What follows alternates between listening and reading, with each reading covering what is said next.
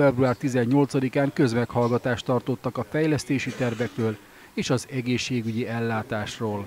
A Török Ignác gimnáziumban megtartott mintegy három órás fórum jól érzékeltette, hogy mennyi erőfeszítésre van szükség az önkormányzat által elért szolgáltatások színvonalának megőrzéséhez, több területen az emeléshez, és hogy mely területeken érzik javítandónak a lakosok az életminőséget, elsősorban a közvetlen környezetükben. Több település részről érkezett panasz a szennyvíz hálózat bűzéről.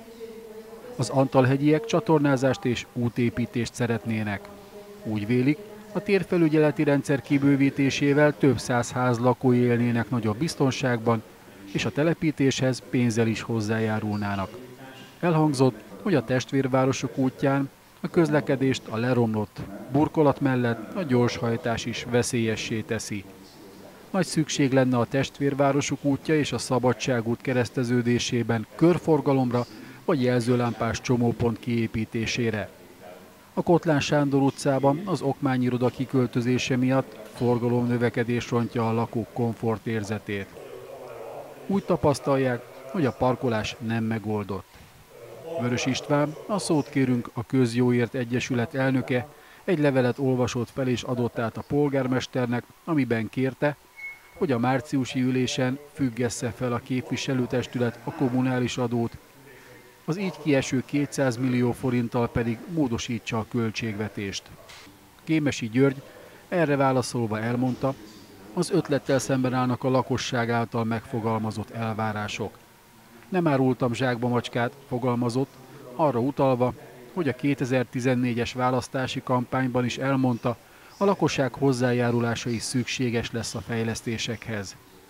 Ennek megfelelően kell most cselekedni, az öt éves ciklus programot végrehajtani. Hozzátette, a korábbi években 5-6 milliárd forintot fordított a város az infrastruktúra fejlesztésére. A kommunális adó felhasználásának is meg lesz a látszata, ez a pénz utakba, járdákba fektetve gyarapítja a város vagyonát.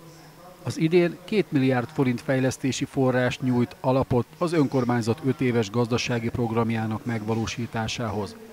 A közmeghallgatás résztvevői a sportcsarnok építése, a művészetek háza folytatódó felújítása mellett arról is értesültek, hogy a tervek szerint megújul a testvérvárosok útjának egyik szakasza, és elérhető közelségbe kerül az Antalhegyen a csatornázás.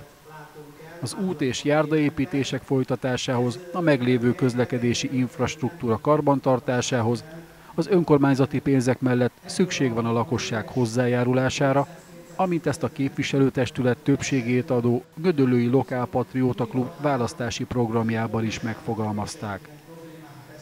A város jelentős támogatást nyújt a 25 település szakorvosi ellátását végző Tormai Károly egészségügyi központ működtetéséhez. Az úgynevezett teljesítmény volumenkorláton túl, ami azt jelenti, hogy az országos egészségbiztosítási pénztár csak bizonyos mennyiségű orvosi kezelést finanszíroz, és emiatt a betegeket érzékenyen érintő várólisták alakulnak ki, nehezíti a gyógyulást az orvoshiány is. Két éve bevezették a laboratóriumi vizsgálatok előjegyzését. Jellemző a forgalomra, hogy naponta 150-180 embertől vesznek vért. Számok támasztják alá gödöllő javuló közbiztonságát, de az is igaz, hogy előfordul, a rendőrség által elfogott gyanúsítottakat az ügyészség vagy a bíróság elengedi, azután újra rendőrkézre kerül, közölte a rendőrkapitány.